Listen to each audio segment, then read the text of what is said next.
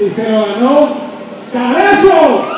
Ana Campos es la caraseña que ganó el primer lugar del Festival Nacional Sabores de mi Patria, que se desarrolló en la herradura del Centro Turístico de Granada. Con este dinero yo lo voy a ayudar a mi madre porque ella se va a operar a corazón abierto, entonces este me va a ayudar. Quiero agradecerle al gobierno por promover estas actividades, por darme este premio, a mi alcaldía, a Inifón, al MEFA, a todos. Muchas gracias. Su platillo, el ajiaco, ganó 40 mil córdobas. Es una muestra del rescate de las recetas tradicionales nicaragüenses que sedujo el paladar de los jueces. Un 50% de los puntos es el sabor.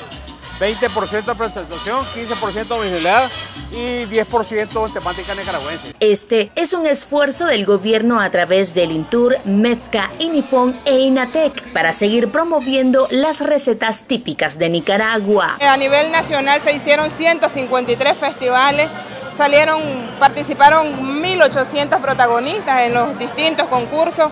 De esos 350 tuvieron algún lugar, ¿verdad? Y de esos 350 hay aquí 21. Esto es el primer evento que se da de tal naturaleza y haber sido escogido Granada para nosotros es un gran privilegio. El segundo lugar se fue hasta Chinandega. La señora Carla Catín elaboró un suculento nacatamal y fue digna de los 30 mil córdobas. Algo muy bueno porque uno aprende de todo. ¿Qué hacer con este dinero? A seguir trabajando para ver poner una microempresa. Finalmente, el tercer lugar lo obtuvo la señora Natividad Espinosa, originaria de Puerto Cabezas. Ella ganó 20 mil córdobas en efectivo que servirán para ampliar su negocio de repostería. ¿Qué fue lo que usted preparó? Es, una comida este, típica de, los misquitos, se llama Warbipiacan. Y haber ganado? Alegre, alegre.